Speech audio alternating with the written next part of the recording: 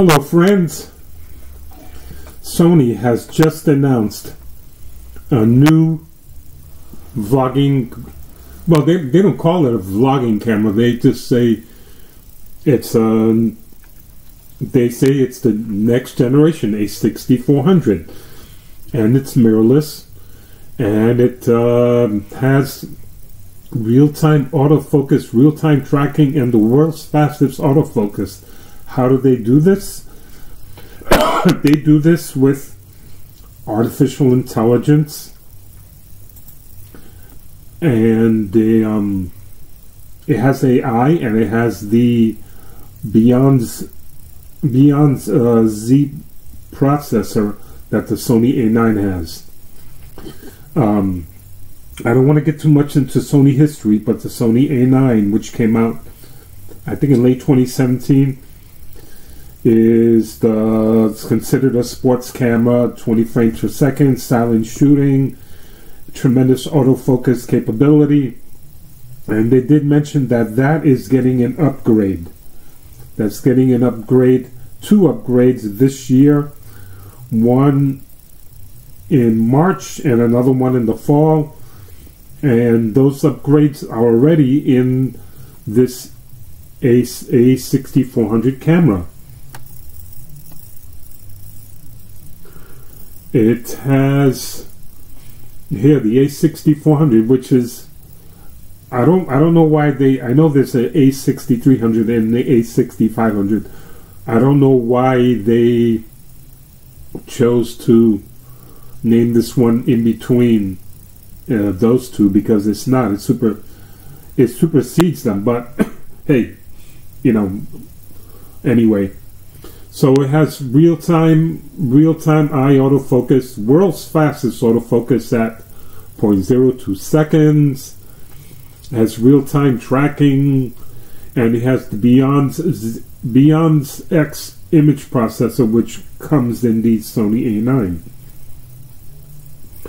And I think it's cool that it also has uh, it, it does record a high resolution 4K with no pixel binning and it has uh, the advanced autofocus speed and stability and it has time lapse time lapse videos and and pictures which I think is really cool. That's also built in. And it has a 180 degree flip screen which I let me see if there's a picture in here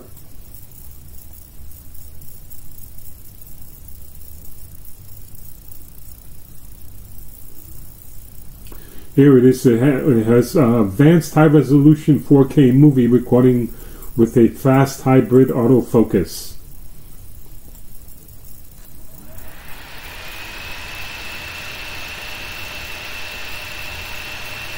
And it's $900 and it, it'll be available next month. Which I think is probably the other important spec. Given, um, I mean, if, if you've been following at all what's been happening with the camera world in the last 18 months, uh, I guess it probably started with the Sony A9 and then the Sony A7 Mark III, the Sony A7R III, and then the Nikon Z6, the Nikon Z7, the Canon EOS R, and, and then the Fuji X-T3. The oh, and then I believe in March will be the Panasonic full frame S1 and the S1R. Uh, as you uh, as as you see, um, Sony is not sitting around, you know, discounting discounting their money.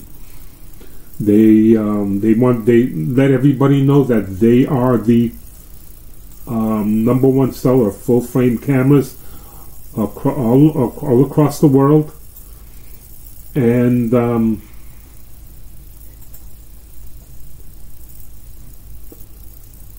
deservedly so because of the Sony A9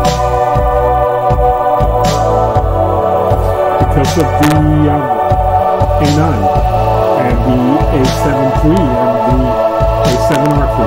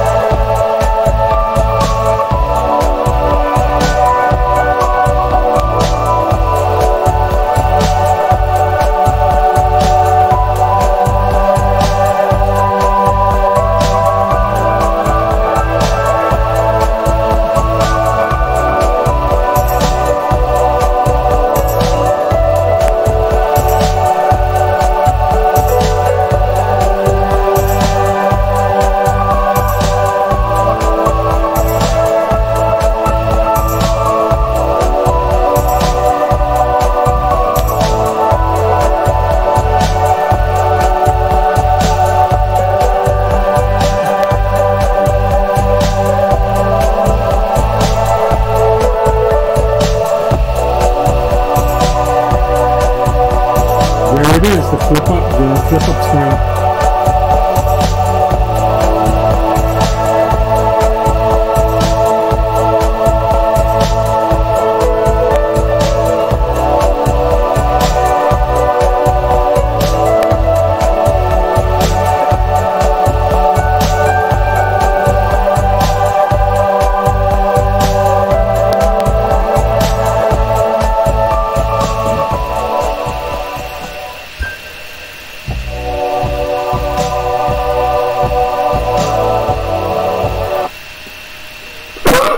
have any recommends yet.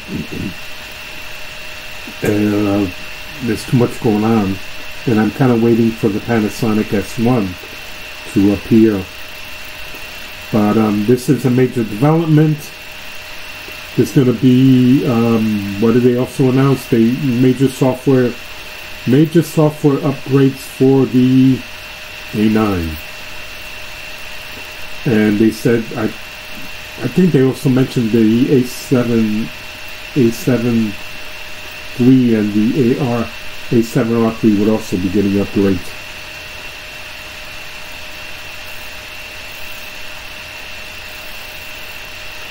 So um, that Alpha 6400, it's, uh, it sounds like a, a, a, a stunning camera. I'm, Oh, here it is. There's a, yep. There is going to be a firmware version 3.0 for the A7R3 and the A7 III. And those will be April 2019. Um, we're not done. The, they said the mirrorless cameras are at 54%. And uh, I think I think the sep- that separation is going to continue for uh, on and on. there's too many too many advantages to mirrorless, and and not just because of the you know the less size and less weight. Some people want the size. Some people want the size. They you know for ergonomics, they want the size of a full body camera and um, Sony hasn't done that, but maybe they maybe they should. Anyway, that's a whole nother topic. I just wanted to update, update you on what just came out. Uh, have a wonderful, uh, wonderful rest of the day, and um, I'll keep you updated when things come out.